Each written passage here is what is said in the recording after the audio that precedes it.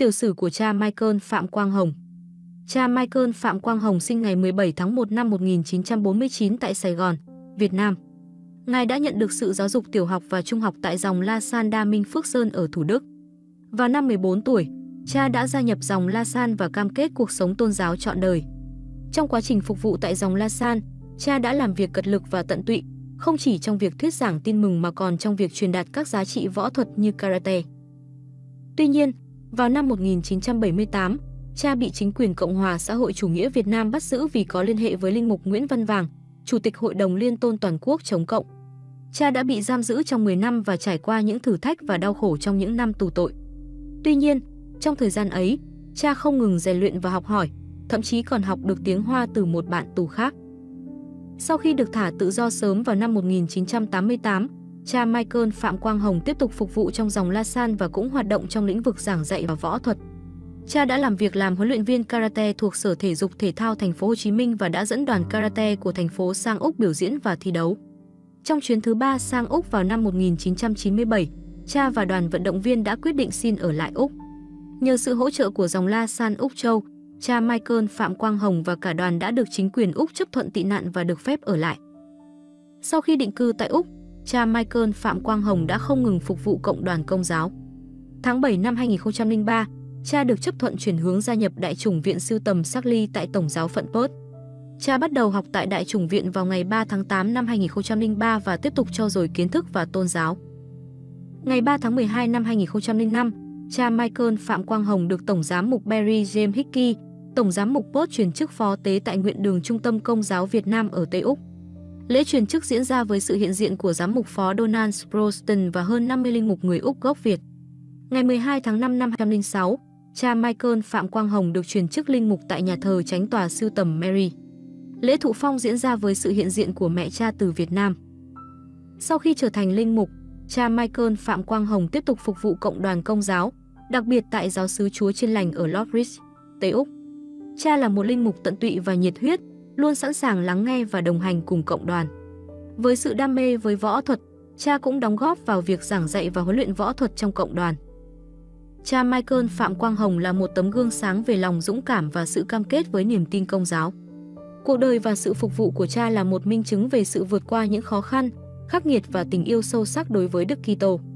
Từ những khó khăn và trải nghiệm đau thương trong quá khứ, cha đã trở thành một linh mục đầy lòng nhân ái và hy vọng, sẵn lòng chia sẻ niềm tin và tri thức công giáo với mọi người. Với tài năng giảng dạy và suy niệm sâu sắc, cha Michael Phạm Quang Hồng đã tạo ra những video thuyết giảng kinh thánh công giáo phổ biến trên nền tảng tảng YouTube. Những video này đã thu hút hàng triệu lượt xem và trở thành nguồn cảm hứng cho nhiều người trong việc hiểu biết và khám phá sâu hơn về đức tin công giáo. Không chỉ là một linh mục mẫu mực, cha Michael Phạm Quang Hồng còn là một người thầy và huấn luyện viên võ thuật tài ba. Với bằng nhất đẳng huyền đai Karate Do được cấp bởi Nhật Bản, cha đã truyền đạt và dạy võ thuật cho nhiều thế hệ trẻ em và thanh thiếu niên. Cha không chỉ giúp họ rèn luyện thể chất mà còn truyền đạt những giá trị đạo đức và tinh thần kiên cường. Cuộc đời của cha Michael Phạm Quang Hồng là một hành trình đầy gian truân, hy sinh và đức tin vững vàng. Từ một tu sĩ bị giam cầm và đối mặt với nhiều khó khăn, cha đã vượt qua mọi thử thách và tìm thấy niềm vui và ý nghĩa trong việc phục vụ Thiên Chúa và cộng đồng.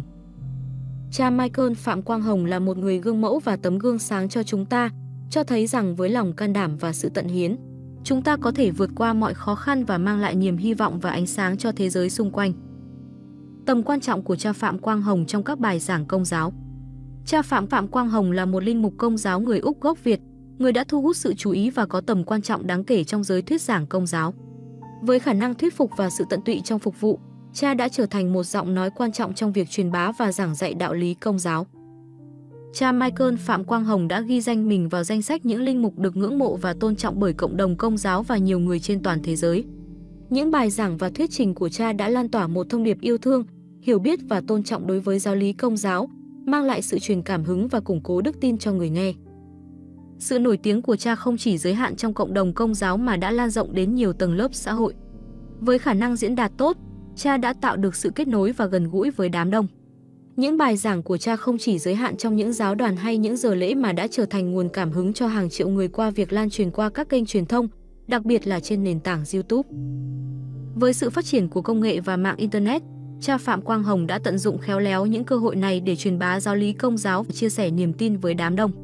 Những video thuyết giảng của cha trên YouTube đã thu hút hàng triệu lượt xem và trở thành nguồn tài liệu tham khảo cho nhiều người.